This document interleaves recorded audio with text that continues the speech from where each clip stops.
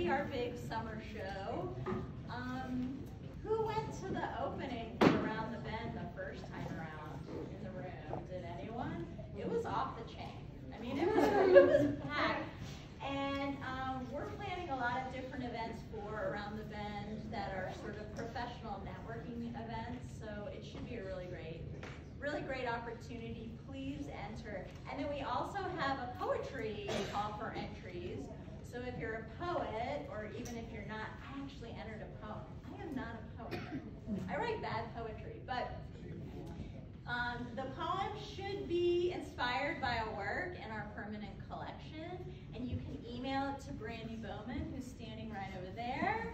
And um, who's jurying that? Who juries that?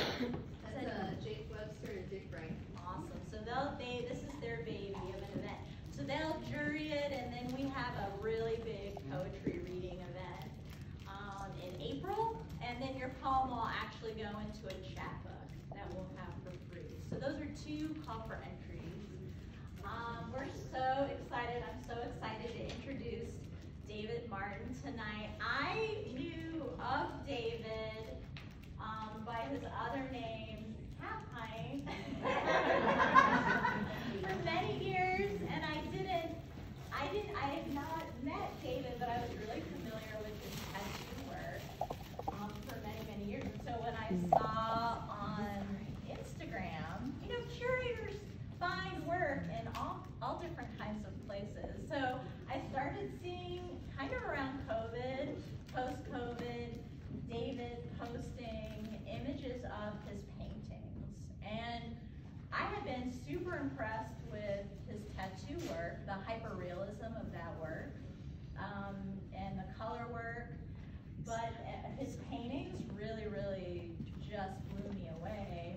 And then I came to find out from a mutual friend, Eli Kahn, that David was self-taught, and that totally blew my mind.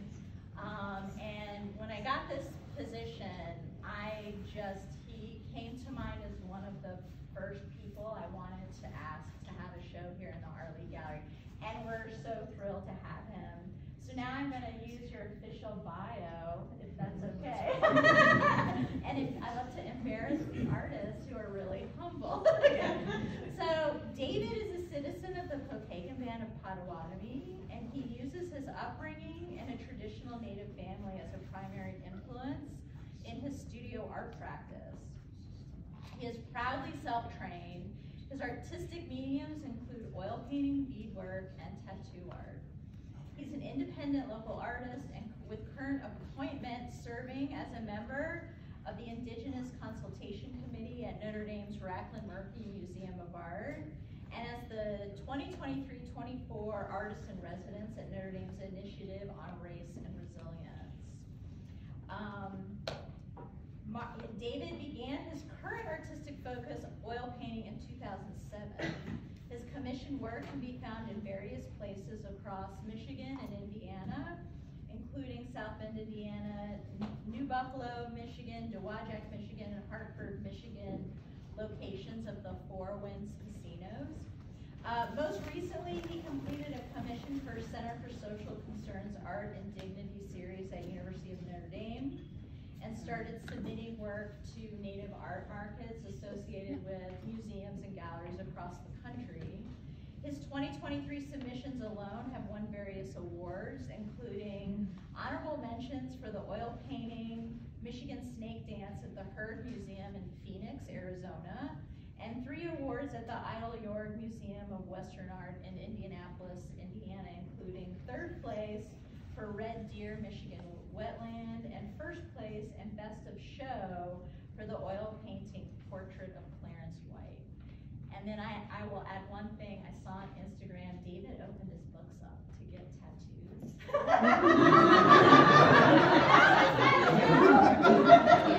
he didn't. He didn't. I was going to say, you can get in line behind me. Please welcome David Martin.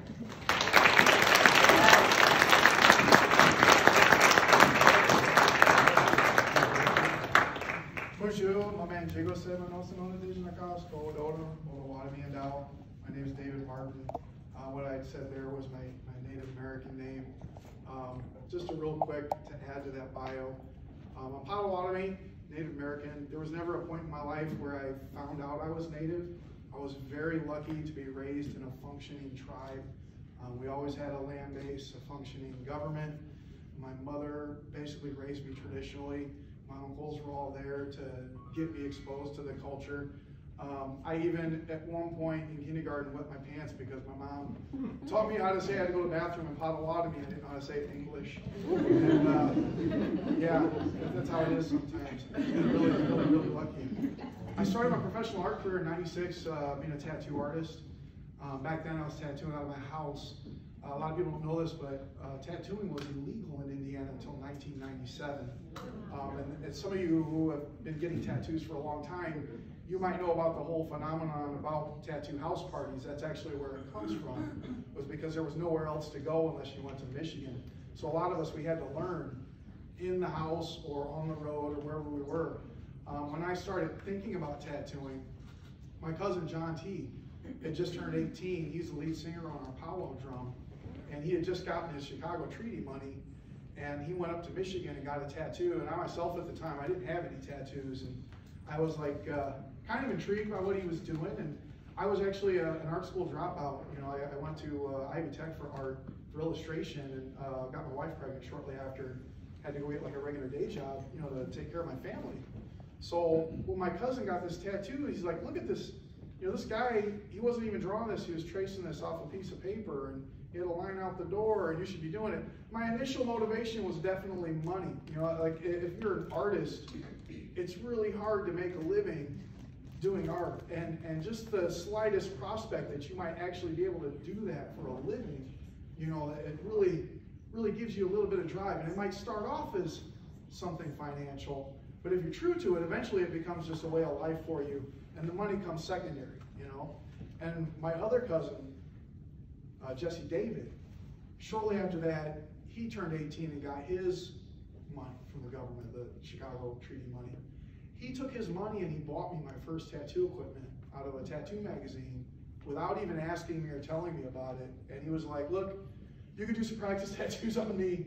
And you know, if you like it, awesome, you keep the equipment. You know, if you don't, you know, you didn't lose any money. Now, I'm telling you this, that's not how you're supposed to do it, and you probably shouldn't do it that way.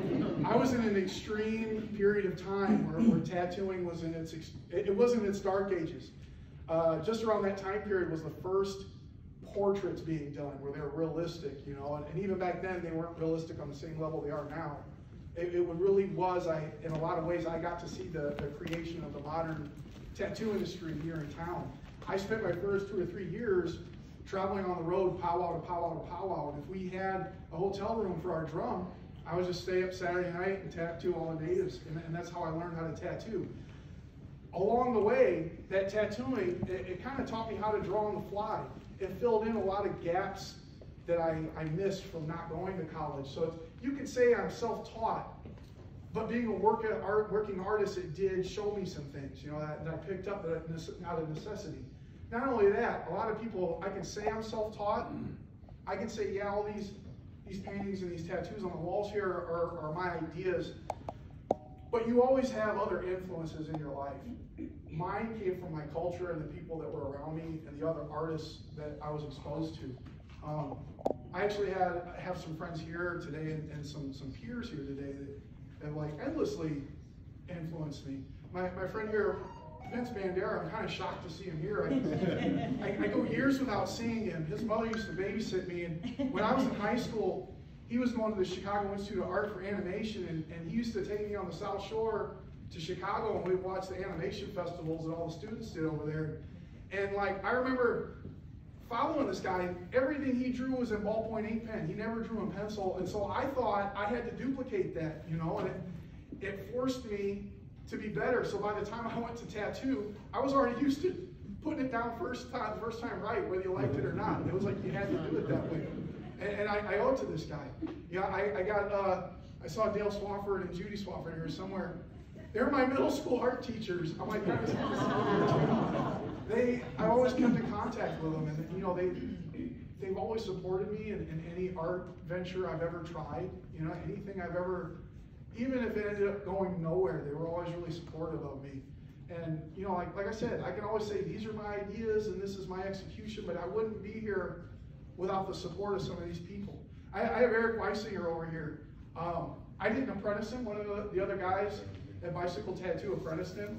Um, but when he came to Bicycle Tattoo, he brought an artistic creation that put a fire under my butt to push myself even further. You know, you surround yourselves with other artists, creative people, places that you're going to go, things that, that will influence what you do. It's really, really important. So I can say I'm self-taught, but really I'm just observant or, or I'm a sponge absorbing the people around me and their inspiration that they give me. As for the art itself, when I first started uh, tattooing, I actually kept the style of tattoo art separate from my native culture. I didn't actually put a connection with those two. Um, I was really heavily focused on doing what was currently trending in the tattoo world. So back then it was like Tasmanian Devil, nautical stars, you know, biker tribals, you know. Someday maybe that stuff might come back around and be cool again. But uh, that's what I focused on. And at the end of the day, I would go home and do beadwork. You know, my mom taught me to do beadwork so long ago, I actually don't remember her teaching me. I know she did, you know, but she had me doing it right from the get-go. It, it's always been a part of my life. And like all this beadwork I'm wearing on myself, I made it. Some of it, uh, like this tie, I made this when I was 18, and I'm 50 years old. I just turned 50. My mom taught me how to do it right so that it'll last forever, you know? So again, there's that, that influence, you know, the, the people that come before you, the people around you, and how they influence you. Um, at some point, I started watching people that would come in and, and they would want things like Indian princess with like a headdress on, you know, and it's still pretty trendy today. And I was always like, well, you know, they never wore headdresses, you know, like I don't know why you have to dress a woman up like that. The way the women traditionally dressed was probably even more beautiful than the way they're putting them in this headdress, you know. And I never really questioned it too much. I just I shut up because I didn't want to argue about it. You know, I, a lot of times the client wants what they want, and if you don't do it, they'll end up going somewhere else and doing it. You know, and so sometimes, especially in that period of my career where I wasn't as settled, I wasn't as as uh, anchored in what I was doing, um, I just did it. You know, and there was a certain point where my conscience couldn't let me do it anymore. You know, so like when people would come in, they would say, yeah, I want to get this Indian princess tattoo. And I'd be like, you know, do you want that or do you want like a real native tattoo? You know, and my early career, and most of my career, I kind of focused on photorealism, you know, portraits and animals and stuff like that. Well, Potawatomi art is actually really, really abstract. It's, it's floral patterns, it's leaf patterns, uh, simplified animals, you know. It's actually a whole different way of thinking. And when I started telling these people, these clients that would come in and want these Native American tattoos, I'm like, well, actually, this is a real Native American tattoo, or this was, is what an actual Potawatomi in our area would get. And I was kind of surprised at how many of them were open to it. And I slowly ended up taking all these basically art motifs that I isolated just to my Native American side of life, and I started transitioning it over to my tattoo life. It kind of gave my, myself me personally, it gave myself almost more of a purpose in tattooing. I was no longer just uh, I'm gonna do a really cool tattoo. Maybe I'll take it to this tattoo convention to see if I can win an award with it or something, or you know, how much money can I make off of this one? You know, what, what's it became a purpose. You know, like this is this is my niche. Yeah, I can still do portraits, no problem. You know, but now I can service my people and the people that want to get the wrong version or misrepresentation of my people, I can offer them an authentic version. Sometimes I actually joke and I say it's reverse colonialism. Bring them in and I give them some real native stuff. You know? um, that's how it started. And then with my paintings, I've always I've always done native style paintings. Um, but it always it started off initially as just commissions. It was uh, it was admittedly it was it was a, a I don't want to say cash grab, but it was a way of living and supporting my family. Um, I wasn't a natural oil painter. I had to teach myself. I spent a good year of just practicing. Um, the first commission I got actually was out of nowhere. It just, it just happened. It landed in my lap. And then things just started steamrolling after that. Every, every year or so I'd get a commission and it was always a native piece of art. And the cool thing about that was, is it was the stuff that I was drawing already. So I had this rare opportunity that I was getting commissions of something that I was doing anyways. You know, something that, that was authentic to me. I didn't have to uh, change who I was to make the extra dollar. Uh, it, it was it was me representing myself, and not only that, I was representing my people. You know, people can go in and see my art, and they can see interpretations of what our culture is, where it's going, and that brings me to the title of the show, the continuation of Potawatomi culture. A lot of people don't realize this, but almost all Native American cultures were on the brink. And, and the things I'm going to say here right now, I'm not trying to make anybody feel guilty. I'm not accusing anybody here of, of anything, right? This is all things that happened in the past. Everybody can learn from the past and move on into the future. But we were on the brink of losing our language. We were on the brink of losing our entire culture. It was against the law to speak the language. It was against the law to dance. The very act of dancing was looked at as a form of uprising against the government. It was it was banned and outlawed. You and admittedly it was it was enforced differently across the United States depending on where you were, what the BIA was like in your area, the, you know, it, but it was there. It was on the books. You couldn't do it. You have this whole generation, like my grandmother's generation, not my great grandmother, my grandmother's generation. They were legally persecuted. They were legally made to give up their culture. Then you have my mother's generation. That's the generation that started to wake up and they started to ask questions and bring some of them things back. My grandmother's generation, most of them were embarrassed to even say anything or, or express any idea of what their culture was. You know, they sometimes if somebody from my mother's generation went to their parents, they were afraid to tell them anything. They might have to go to another uncle or something to get a piece of information and put it together. My generation, I'm 50 now, I'm the first generation that was raised with it from the get go. There was no, I'm going to discover I'm Indian today.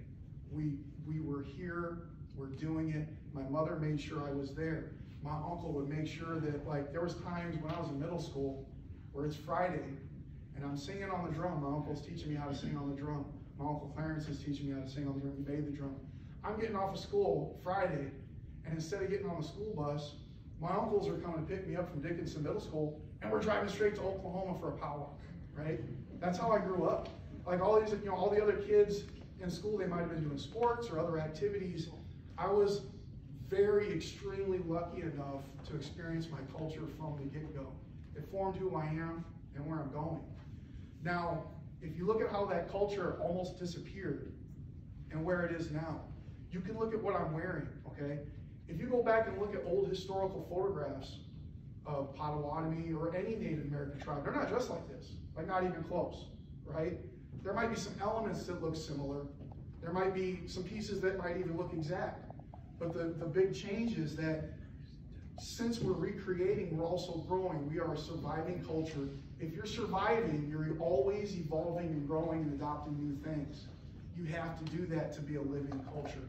It would be very easy for me to go look, go to the Smithsonian, find an old black and white photo of one of my relatives, and dress exactly like them. But that's reenacting. It's not authentic. I'm reenacting. I wouldn't want to do that. I want to be who I am. I want to carry my culture into the future, right? There's, in these paintings, you're going to see strings from the past, but you're going to see where it is now where I brought it. And I don't want to take full credit for this. Everybody in our tribe, everybody in every tribe that has any hand in the culture is doing some form of this. It might not be through artwork. It might be through song. It might be through politics. It, who knows? You know, but it, it's definitely always changing and evolving, and that's how you know that we're a surviving culture. That's why I don't feel sorry about the past and what happened to my family. It was regrettable, but I don't let it anchor me down because I'm too focused on trying to make sure that my kids coming up after me are going to have even more benefits than I had that what my mom provided for me and that what her mom provided for her. You know, there's another artist here, in Jason Wesaw. I don't mean to put him on the spot. He's constantly pushing the limits on what Native American art is. And you have to do that. You have to do that as a living, breathing culture. You have to push yourself. And yeah, you might have some things that might get repeated, or, you know, like, maybe, maybe you find a dead end and you might have to rethink where you're gonna go with the next project. But it's that, always that constant push to try to be new. And I don't think this just applies to Native Americans, I think this can apply to any culture, any culture. You should always just push yourself to be the best you can be, the best you can do. And even if it's, you know, ends up missing its mark, you should still try, you should still try. And I just wanna say thank you very much. This last year has been so, so amazing for me. I've had so many things that happened to me just this last year art-wise, and I have so many things coming up this year. I can't thank everybody enough because I can produce the art and I can show it to people, but if they don't respond to it and support me, I don't move forward. And I just want to say thank you all for coming out here. Uh, thank you for experiencing my culture that I'm putting on display here. Um, if you have any questions, feel free to come up and approach me. If I'm talking to people, just come on and jump into the same conversation. Thank you very much.